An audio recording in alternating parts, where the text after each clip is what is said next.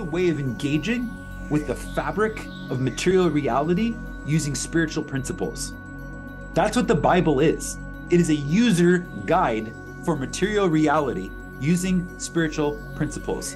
And it has been vastly misunderstood. And we are clarifying that right now. We are clarifying the purpose of prayer right now. All right, welcome back to another episode of Daily Neville. I am your host, Josiah Brandt, and Daily Neville is all about breaking down the teachings of Neville Goddard, making them easy to understand, easy to digest, easy to apply in 20 minutes or less. Now, this is episode one of season two. The book that I've selected for season two is Prayer, the Art of Believing. That's a 1945 book by Neville Goddard. And we're going to dive right into it. But first, before we do, I want to talk a little bit about this idea called prayer. Prayer is arguably one of the most misinterpreted ideas from the Bible. As I was thinking about this and I was thinking about how to present this, how to like really break this down, make this accessible, I realized that this is actually probably one of the most important ideas that Neville teaches.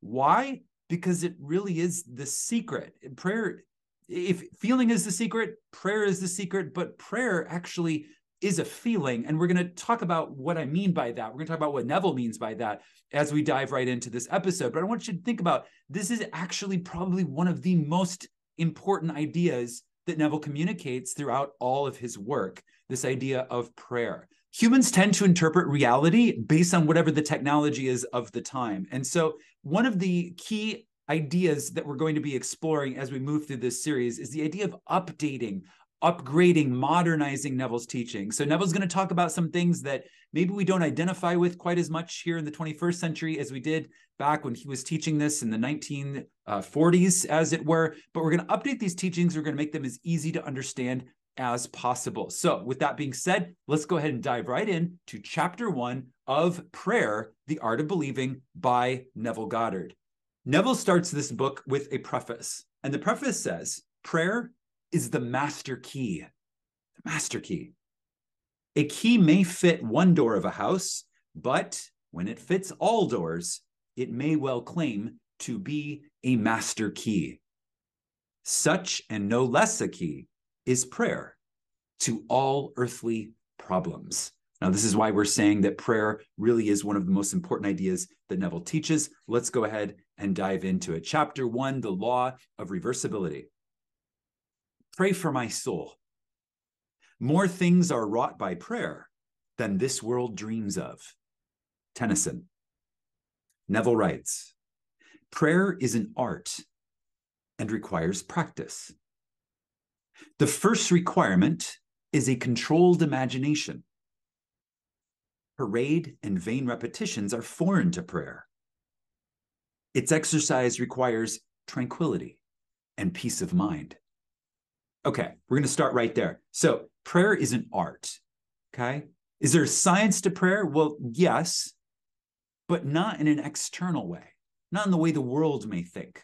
So, we're going to explain and, and, and, and dive deeper into this idea of prayer as an art. So, art requires practice, meaning that maybe with prayer, the idea here is to learn how to do it properly and to learn to apply it not so much in a scientific way, but more in an artistic way. So, what does he mean by that? Well, he says the first requirement is a controlled imagination.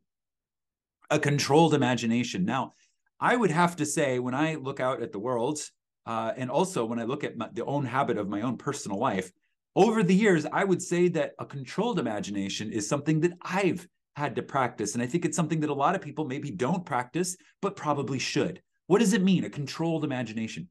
Okay, so that voice that's going on inside of your head right now, well, for a lot of people, that's the monkey mind. It just kind of runs all over, it's out of control. So, what does it take to control one's imagination?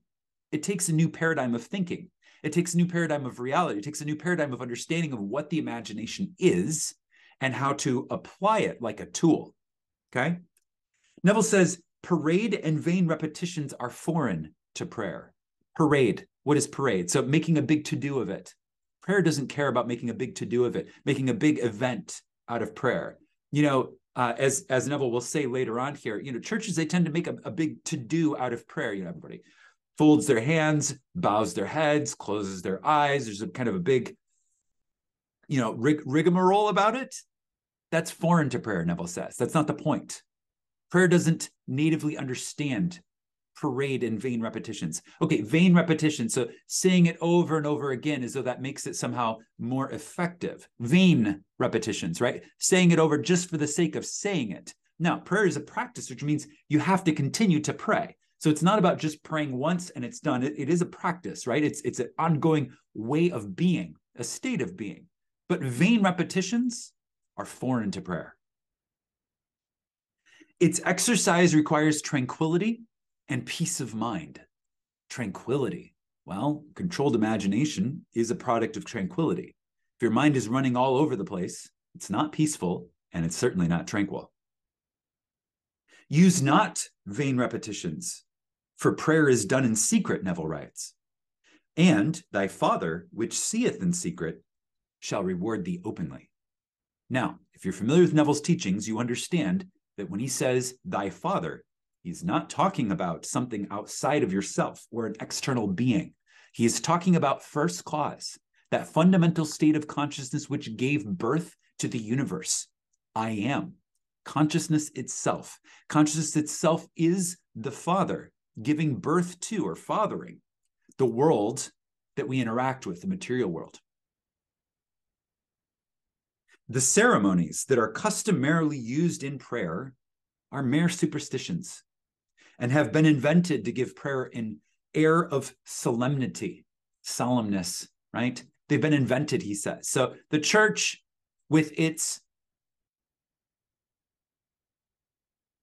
incentive to encourage engagement, has created, uh, you know, customs around prayer that are not required, but give it an air of solemnity so that people take it more seriously. They've been invented. And Neville says this is superstition. Those who do practice the art of prayer, Neville says, are often ignorant of the laws that control it. And that, of course, is why we're here today to go ahead and become aware of the laws that control prayer. They attribute the results obtained to the ceremonies and mistake the letter for the spirit. Now, if there's one thing that causes problems in this world, I would say that's probably what it is. It's mistaking the letter for the spirit. Now, what does that mean? So the letter is a way of communicating the spirit, but it is not the spirit itself. So when I say a set of words, right, it is the meaning carried in those words that you are meant to interpret rather than the words themselves. Okay. The essence of prayer, Neville writes, is faith. But faith must be permeated with understanding and given that active quality which it does not possess when standing alone. What is the active quality of prayer? Faith. Faith is the active quality of prayer. But faith must be permeated with understanding, he says. So you have to know how this works. You have to know how it works to give it that active quality. Okay. Now, when I say know how it works, I'm still talking about a childlike understanding, right? This is not complex, but it does require engagement with this idea, engagement with this concept. Therefore, Neville writes, this is a quote from the Bible, therefore get wisdom, and with all thy getting, get understanding. Okay, wisdom and understanding. This book is an attempt to reduce the unknown to the known by pointing out the conditions on which prayers are answered and without which they cannot be answered. It defines the conditions governing prayer in laws that are simply a generalization of our observations. The law of reversibility is the foundation on which its claims are based. So, this book, Prayer, of the Art of Believing, is based on the universal law of reversibility. Now, Neville's going to explain what this law is, the law of reversibility, and he's going to use kind of these outdated middle century middle 20th century ideas. Okay. Not, not, not that they don't still hold true to today, but they are a little bit outdated for our current understanding. We're going to do our best to upgrade.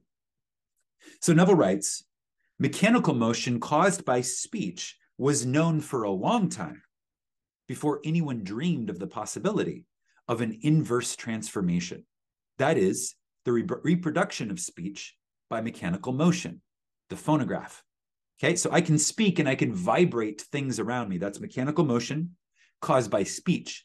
And this was known long before anybody realized that mechanical motion could reproduce speech. So speech can cause vibration. Vibration can cause speech. So the phonograph, I'm speaking, I'm vibrating, I'm cutting into wax.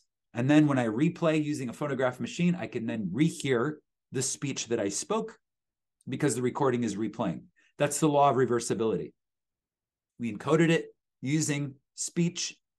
It's like directional, right? Speech into mechanical motion, mechanical motion into speech. That's the law of reversibility. Neville is implying that this is true. This is a universal law. So this is true in all cases. If it can go one way, it can come back the other way. And he's going to give a couple more examples of this. Neville writes For a long time, electricity was produced by friction without ever a thought that friction in turn could be produced by electricity. Whether or not man succeeds in reversing the transformation of a force, he knows, nevertheless, that all transformations of force are reversible. If heat can produce mechanical motion, mechanical motion can produce heat. If electricity produces magnetism, magnetism too can develop electricity or electric currents. If the voice can cause undulatory currents, so such currents reproduce the voice, and so on. Cause and effect, energy and matter, action and reaction are the same and interconvertible. Now, why is Neville talking about mechanical motion creating speech, speech creating mechanical motion, electricity, magnetism, et cetera, and so forth? Why is he talking about this? Because he is laying down a premise for prayer. And he's going to really break apart what prayer is using this as the premise. So he's saying prayer is based on the law of reversibility and it's an art and it requires practice. So listen very carefully here. Neville writes This law is of the highest importance because it enables you to foresee the inverse transformation once the direct transformation is verified. If you understand the law, you can see what will come out. A creates B, B can also create A. And you can foresee B creating A if you can verify that A created B. This is where he applies it to the idea of prayer. If you knew how you would feel, how you would feel were you to realize your objective, then inversely, you would know what state you could realize were you to awaken in yourself such feeling. Let's say that again. If you knew how you would feel were you to realize your objective, because we're praying for something. That's usually what it is. You're praying for something. Okay. So you're asking for something. So what he's saying here is if you knew how you would feel if you had that something, then inversely, you would know what you could achieve, that you know what you could have, were you to awaken that feeling now. Feeling is the secret. Okay. This is this is no departure from anything else Neville has taught. This is very congruent with all of Neville's teachings. He's just explaining it a slightly different way, and we're breaking it apart so that we can really master this art and begin to practice it. Neville writes, the injunction or command to pray, believing that you already possess what you pray for, Mark 11, 24, is based upon a knowledge of the law of inverse transformation, a universal law, a law that is true in the physical world, the material world, the spiritual world, as above, so below, as below, so above. Inverse transformation. If your realized prayer produces in you a definite feeling or a state of consciousness, then inversely, that particular feeling or state of consciousness must produce your realized prayer. Okay, so let's make this extremely relatable. Let's say that you desire a promotion at work, and you could reach out and touch in your imagination how you would feel when your boss was shaking your hand saying, Congratulations on your promotion. That feeling, if you knew how you would feel were you to receive that promotion, and You understood the law of inverse transformation. Then you understand that were you to feel that way now, you could awaken the promotion. Okay, this is a way of engaging with the fabric of material reality using spiritual principles. That's what the Bible is. It is a user guide for material reality using spiritual principles. And it has been vastly misunderstood. And we are clarifying that right now. We are clarifying the purpose of prayer right now. Because all transformations of force are reversible, you should always, always pray without ceasing. You should always assume the feeling of your fulfilled wish. The feeling of your fulfilled wish, always persistently assumed, is praying without ceasing. You should awaken within you the feeling that you are and have what before you desired to be and possess. That's a time shift.